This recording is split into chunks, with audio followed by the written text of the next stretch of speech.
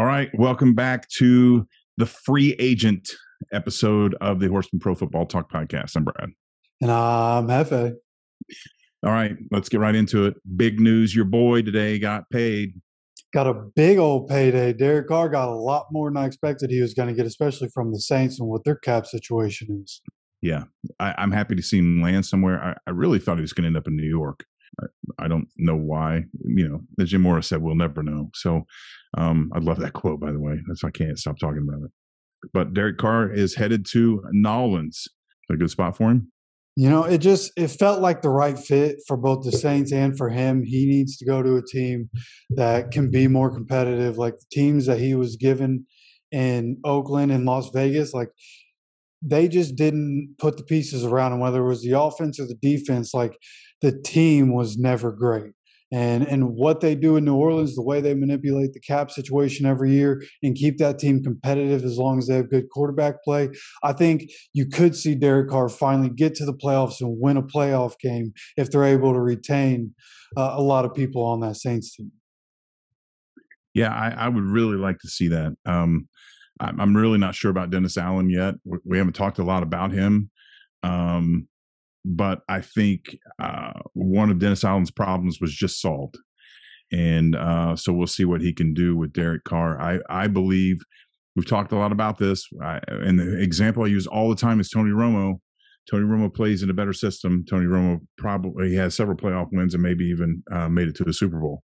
Um, and I think Derek Carr is that kind of guy. I think um, for whatever has happened, he just hasn't had a good even times when the system's been good there's been other problems around in and around the organization. Uh, i just think getting out of vegas is probably the best thing for him. I don't know that going to new orleans was the solution but i'm hoping it is. I'm really hoping that uh, this is a good for hit fit for him and uh, he can you know i know that you're a raiders fan. Was it was it the raiders or is it derek carr? A little bit of both. Okay I, and I and I, I I feel bad for Raiders fans.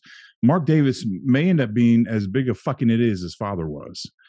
Uh, it certainly appears that they just keep tinkering with it and keep fucking things up. Um, and I'm not so sure that I, I, think Josh McDaniel was a bad hire. I think they should have let him go. I, I, this whole thing, I don't, I don't get it. Maybe I'm wrong, and in two years, a year or two, the Raiders are competitive and maybe they do know what they're doing. I don't think that's happening. Um, I think Derek Carr, Derek Carr is lucky to get out. Yeah, and I mean, even if Derek Carr goes to New Orleans, like, and still doesn't go to the playoffs and win a playoff game, like, if they lose a lot, you know, he he just got four years, 150 million. A hundred of the of that is guaranteed. And so, I mean, for the first year, it's like 60 million of his guaranteed, something crazy like that. So for him, like at this point, who cares? But you can't if you can't win, you might as well get paid. Exactly. So uh, good for him. All right, who do you want to talk about next? Uh, figure we just kind of go down this list. Carson Wentz is the next one uh, on the list. Yeah, I mean, you got to assume he's going to be a backup somewhere, right? Nobody's going to make him if. That, if I mean, this it's like Mason Rudolph down on this this list. I mean, and, and maybe even Teddy Bridgewater at some point Marcus Mariota. At some point, these got to come. These runs got to come to an end. I mean, they're not. They're not doing anything. Um, are they worth? Are they worth even picking up? Those names that I just mentioned are any of them worth picking up? You know, the Marcus Mariota one will be interesting because it'll be interesting to see like what the Falcons are going to do. Are they going to draft a guy, get a guy in free agency? If they can't get anybody, do they bring Marcus back? Um, it'll be interesting to see what they do. Marcus, like at this point, he's had a good run. If I'm a GM, I wouldn't worry about it. Carson, obviously, I wouldn't want Carson. He's a good backup. You know what I mean? You could certainly have Until worse backups. Yeah, yeah, exactly. Yeah, the kind you know, of back your quarterback goes down. Eh, you, you, you, know, I mean, you're 12 and four in a season. Your quarterback goes down, and Wentz comes in, takes over. You're flipping coins, man. I, he's just too unreliable and inconsistent. Uh, Mason Rudolph, Mason Rudolph's a punk. I don't even. I, I don't. I can't. I can't stand to look at him. I like Teddy, but Teddy's too inconsistent. You know, so I, maybe I'll buy in with Mario, Mariota. He's been he's been a good backup, consistent backup. Um, I'm I'm more into guys like Jacoby Brissett because he works. He's consistent. He brings it. You know what you're getting with him, and when you put when you have to put him in, you know what you need to do to make Teddy successful, and he will not let you down under those circumstances. I'd much rather go with a guy like uh, Jacoby Brissett, and and maybe even Andy Dalton, good you know backup quarterback. He's available. I think Joe Flacco. The ship has sailed. Uh, there's a rumor Mike White might come to Miami. That would be very interesting. Would be very interesting. And I'm a little weird about Taylor Heinicke. I, I, he might be more than what people, what he's been able to show. Uh, like we were talking about with you know Derek Carr being stuck in in Vegas. Um, so it would be nice to see him in a good system and see what he can do. Because uh, Lord knows the Commanders haven't been in. But anybody that's listening is wanting to know when we're going to talk about Lamar Jackson. That you know, I was thinking about that on my way home from work. I was listening to a YouTube video, and they were talking about Lamar Jackson. I just started thinking like the Ravens, and, and the Ravens. I've said it a bunch on this show. The Ravens are my second favorite team. They always have been, and the fact that they're not paying Lamar, like, what are you doing? Like Eric DeCosta always gets praised for being a great drafter and this and that, but like it's just at this point, it's just stupid not to pay Lamar. Like quarterbacks like that don't just fall off trees. I understand there are quarterbacks at the top of this draft that people are going to go get that are going to be guys right away, but the Ravens aren't in a position to get one of those guys. So like at this you have to pay Lamar Jackson. Like don't worry about a franchise tag. Don't worry about how it's going to hurt the cap. Like the going rate for quarterbacks is 40 million plus. Yeah. And and and they're not offer they're not getting even close to that number from everything that that I've heard. So well um, there there has to be a reason. Uh, whether it's a good reason or not, I don't I, I don't know, but th- there's a reason. And and I would I would love to know what that reason is. Is it is it have they challenged him over the last couple years to do something better to improve in something he's not doing it are they having some kind of a mental pissing match um is he just not happy there? I mean I, I there there's something fundamentally driving this situation for them not to pay him.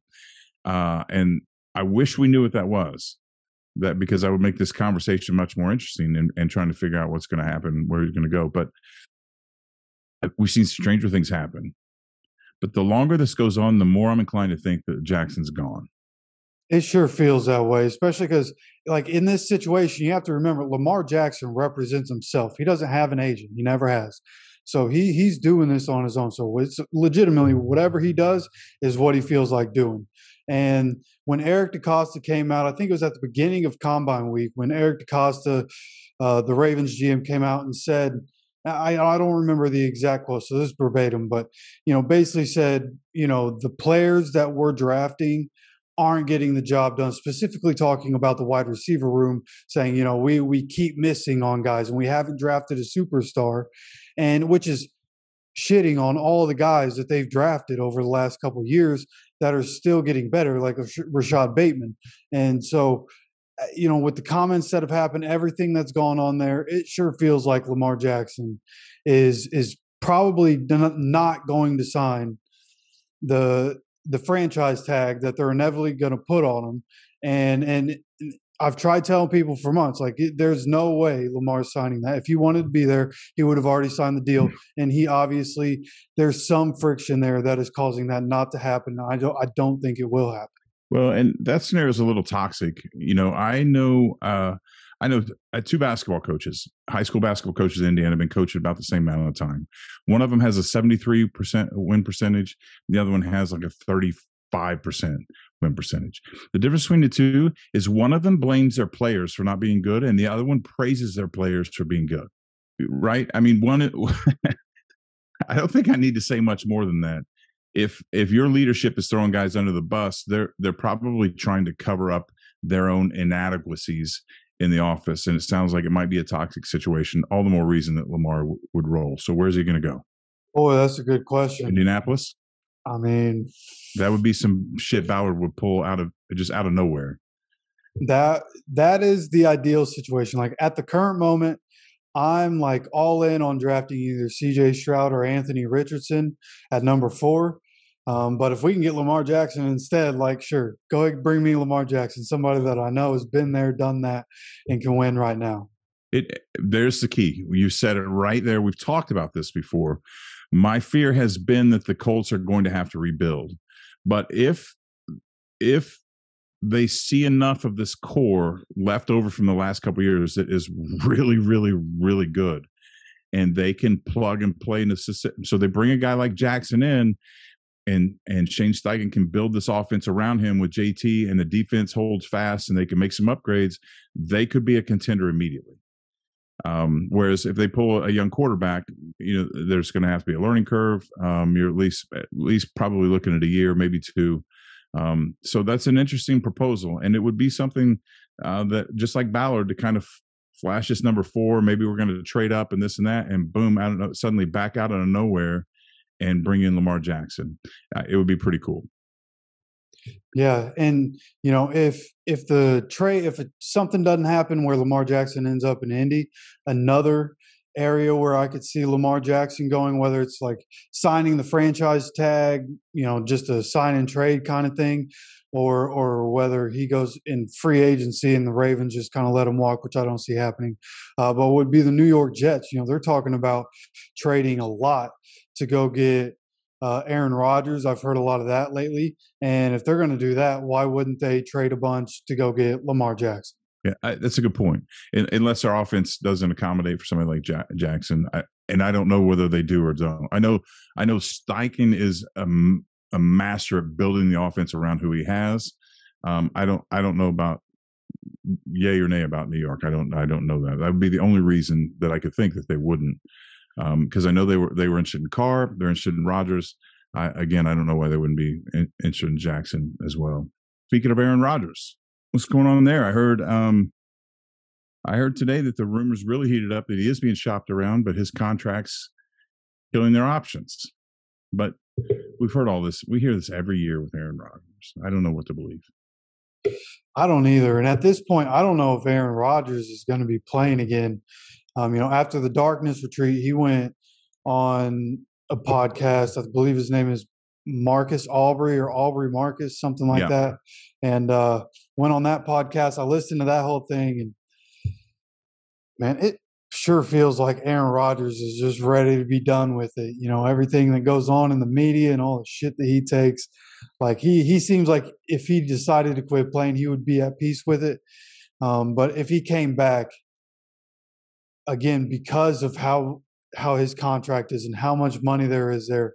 Um, I feel like it's either Green Bay, the New York Jets, or retirement. Yeah, I don't. I mean, I don't know. There's anybody else that would would dump that kind of money. The the full equation, right? There's not a team that would dump that kind of money that Aaron Rodgers feels would be competitive enough to get his attention. I think the Jets are interesting enough right now to to be intriguing enough to somebody like Rodgers to think they would convince him you're the piece we need to win. We we look what we did last year. We just need you here. You know, there's a lot of other teams that may throw money at him that just it would just be you know a shit season at the end of a, a stellar career, and I'm sure I'm sure he doesn't want to do that. I would think I would think he wouldn't, wouldn't want to do it anyway, but especially where he's at in life with with what he's done with um, holistically with those things. So I I think I agree with you. I I don't have any other information to argue that. Now, uh, Tom Brady's on this list. Yeah, I coming back out. I don't know. I heard the latest I heard on Tom Brady was that like maybe he could because I guess like he retired for good to in an attempt to get back with Gisele. I don't know if that's a real report. Um, it's just something that I heard, um, but um, I don't know. It doesn't feel like Tom Brady's coming back. Well, she uh, he I, would heard the same thing that he uh, he put off his broadcasting career. He left the NFL, put off his broadcasting career, tried to get her back, and that she said, "I'm not interested." If she's really not interested, uh, there's a chance he might come back. And I, I'm telling you, man, Vegas. I, Vegas feels like I feel like I got this like core weird feeling that that is inevitable. I, and I don't know why. So we'll just mark this down. If I'm right, we'll bring it back up. If I'm wrong, we'll just pretend I never said anything. Right. Because I feel like because of who Tom Brady is, like there's absolutely a chance he could come back again. But like in my head, I'm I've wanted Tom Brady to retire for 10 seasons. So like in my mind, I'm like, yeah, he's just gonna stay retired. Do us all a favor and stay out of right. the game. Right. Uh, all right, let's talk about the important ones. And I don't mean to I don't mean to dismiss anybody we've talked about. All right. Uh, I think I think Derek Carr's in this category because I, I, don't think Rodgers really go anywhere. Jackson's kind of a toss up. I don't know if the Ravens are going to let him go, uh, but but the ones that are really going to be on the move, Derek Carr obviously just signed with the Saints, Baker Mayfield, Sam Darnold, and Jimmy Garoppolo, uh, and uh, maybe Daniel Jones. I mean, if they're if he if he's going to leave, I think these are the guys that these teams are going to be clamoring. They're going to be fighting over. Um, they're, they're solid guys. Baker Mayfield showed he can play when he went to Los Angeles. Uh, he kind of re- resurrected that confidence in him a little bit. So, uh, what's going on? This is a carousel. What's going on with these guys?